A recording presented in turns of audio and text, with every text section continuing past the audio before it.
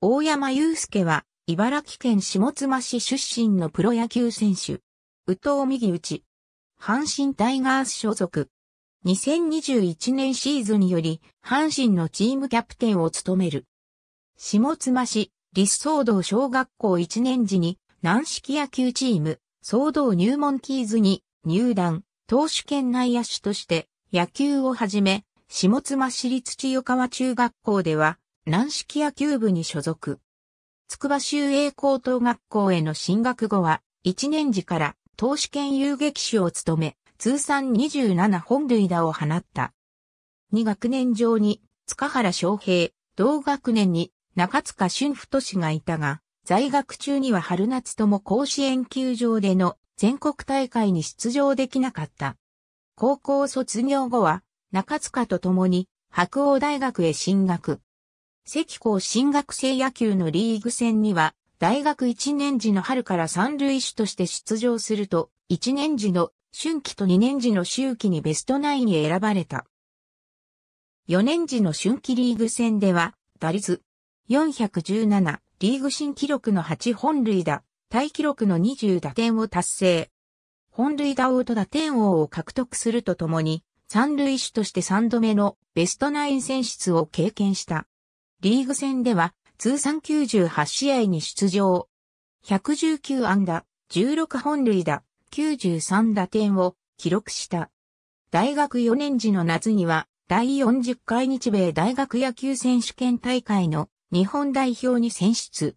前後試合に4番三塁手としてスタメンで出場したものの、結果は15打数に安打1打点にとどまった。山岳年下に大下誠一郎がいる。2016年の NPB ドラフト会議で、阪神タイガースから一巡目で単独指名。年俸1500万円、契約金1億円に、出来高分5000万円を加えた最高条件で入団した。背番号は3で、担当スカウトは平塚勝弘。このドラフト会議では、中塚も埼玉西武ライオンズからの二巡目指名を経て入団している。なお、ドラフト会議での指名直後には、白鴎大学の4番打者として、関東地区大学野球選手権へ出場。1回戦では、初回に逆転にラン本塁打を放った。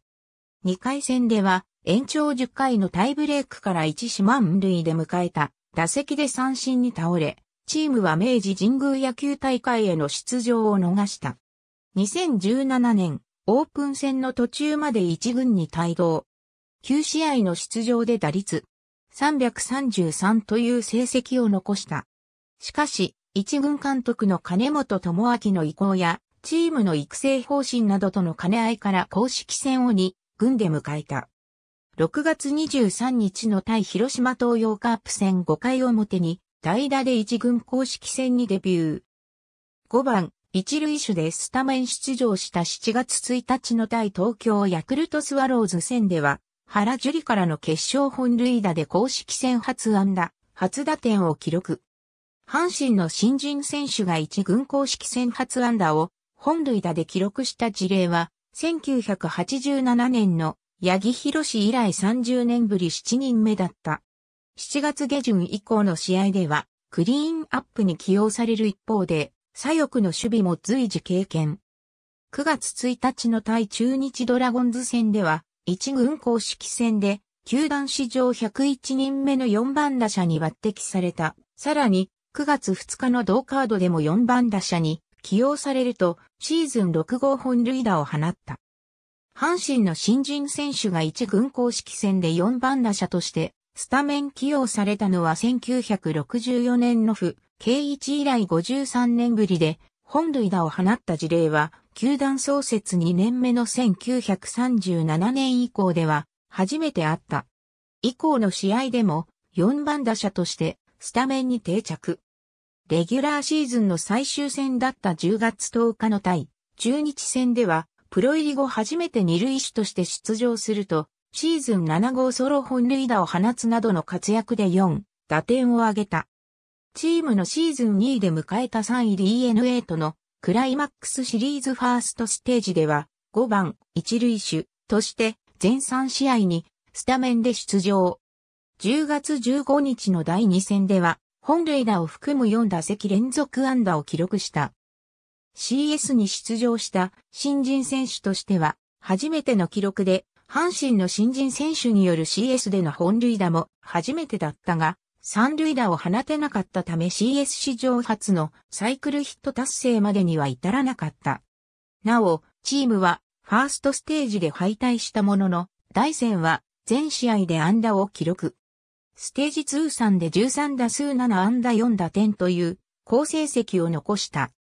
同年は一軍公式戦の出場が75試合にとどまったにもかかわらず、セントラルリーグ新人王選考の記者投票で、京田陽太の208票に次ぐ49票を獲得。新人特別賞を受賞した浜口遥大の27票を上回った。シーズン終了後の契約交渉では、推定年俸2500万円という条件で契約を公開した。また、秋季キャンプでは、来シーズン以降の起用法の幅を広げるため、二塁手や遊撃手の練習にも取り組んだ。2018年、春季キャンプでは二塁手の練習を行っていたが、不慣れなポジションでの守備が打力に悪影響を及ぼす可能性を首脳陣が憂慮し、首脳陣が上記のコンバート案を再検討。鳥谷隆のポジションを二塁へ変更するとともに、大戦を本職の三塁手として起用する方針へ変更した。また、野球日本代表トップチームの監督を務める稲葉厚式から高い評価を受け、石崎剛と共に日本代表のトップチームへ選ばれた。阪神の野手が日本代表のトップチームへ選出された事例は2013年の第3回 WBC の代表チームに鳥谷が選出されて以来5年ぶりだった。オープン戦期間中に開催されるオーストラリア代表との強化試合では全2試合に出場した。シーズンでは前年後半からの活躍やチーム事情の変化などを背景に学生時代からの本職である三塁手へコンバート。3月30日には読売ジャイアンツとのレギュラーシーズン開幕戦に6番三塁手としてスタメンへ起用されると、3回表の第2打席で、菅野智之からシーズン初本塁打を放った。以降の試合でも3塁でのスタメン起用が続いたが、打撃不振に陥った影響で、出場機会が徐々に減少。4月29日の対広島戦で、シーズン初めてスタメンを外れると、6月22日に出場選手登録を抹消された。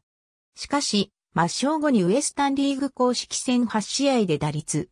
400、3本塁打、8打点を記録すると、7月3日に再登録を果たした。8月が終了した時点で1軍公式戦の本塁打数は2本にとどまっていたが、9月には1ヶ月間で9本を放った。9月11日からの対中日3連戦では、同日に1試合に本塁打、12日に2試合連続本塁打を記録。9月16日からの対 DNA に連戦では、同日に球団史上5人目の1イニングに本塁打を含む全打席安打を17日に2試合連続本塁打で自身初のシーズン2桁本塁打を達成した。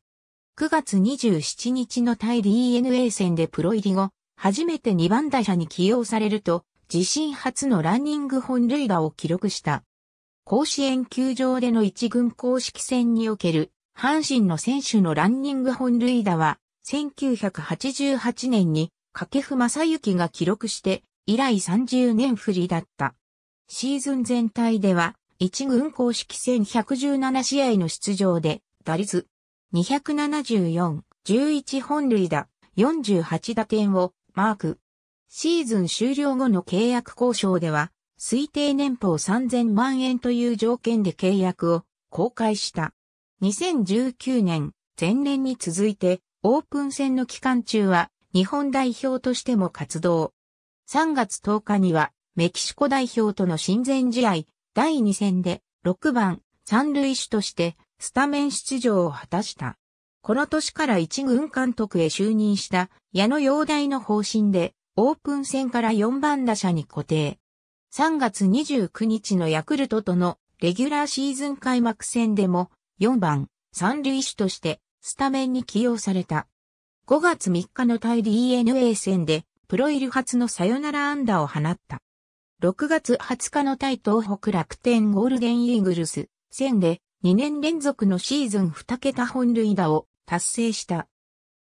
一軍のレギュラーシーズンで阪神の生え抜き選手が開幕戦から4番打者として起用されながら2桁本塁打を記録した事例は2003年の浜中治以来16年ぶりである。8月10日の対広島戦で開幕戦から105試合連続で務めていた4番打者の座を新外国人のジェフリー・マルテに明け渡すことになったが、この試合でプロ入り初のサヨナラ本塁打を放っている。8月下旬からシーズンが終了するまで8試合でスタメンを外れたほか、チームが最終戦で2年振りの CS 進出を決めた9月も月間打率241月間2本塁打にとどまった。レギュラーシーズンでは全143試合へ出場し、自身初の規定打席到達を達成するとともに、チームトップの14本塁打、76打点をマークしたが、三塁手としてセリーグ最多の20失策を記録した。CS でも打撃が振るわず、DNA とのファーストステージと巨人とのファイナルステージで1試合ずつ欠場したものの、10月11日のファイナルステージ第3戦で7番三塁手としてスタメンに起用。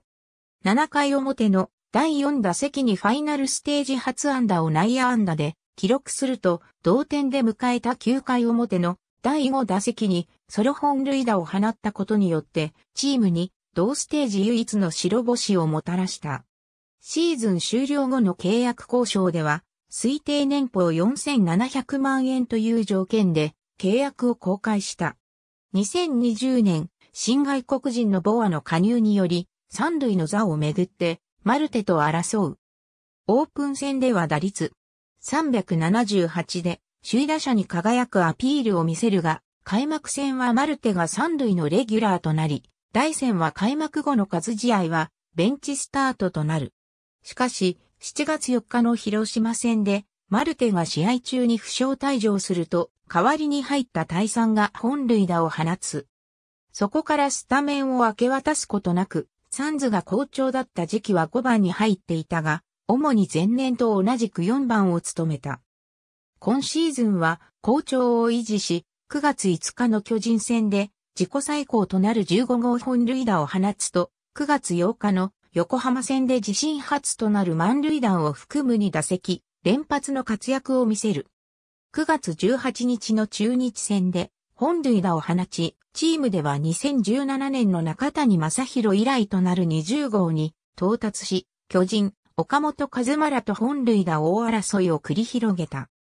一時は本塁打レースのトップ立っていたが、その後18試合にわたって本塁打が出なかったことや、シーズン終盤に岡本が本塁打を連発する活躍を見せたことで、最終的に3本差で本塁打を逃した。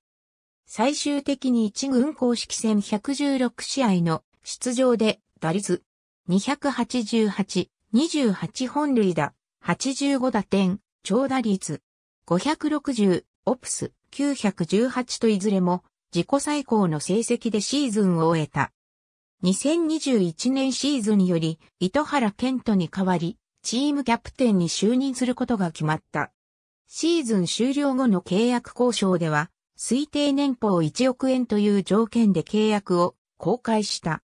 阪神の生え抜き選手が入団5年目までに年俸1億円に到達するのは赤星則弘、藤波慎太郎に次いで3人目で内野手に限ると鳥谷を上回る球団史上最速となった。バッティングフォーム右打ちの長距離打者で直球に強く打席での対応力への評価が高い。阪神への入団当初は、スイングが波打ったり、フォロースルーで伸び上がったりするなどの悪癖が見られた。当時二軍監督だった掛布正幸の指導によって改善してからは、打撃フォームに高い評価が寄せられていた。しかし、以降は、新たな悪癖として軸足である右足を引きながらのスイングや本来なら思い切り引っ張れるはずのボールに対する強引な右打ちによる弊害等が指摘されている。2018年シーズン序盤の打撃低迷をきっかけに、中村則弘の YouTube 公式チャンネルの野球理論動画 N、S メソッドを視聴している。遠投で110メートルを記録する強肩の持ち主で、スローイングの質も高い。本職は三塁手であるが、ユーティリティプレイヤーとしての一面を持ち、学生時代の対外試合では、保守以外のすべてのポジションを経験した。プロ入り後も打力を生かそうとするチーム方針のもとに三塁手のほか一塁手、二塁手、左翼手として出場。ウエスタンリーグ公式戦では遊撃手としても出場した。ありがとうございます。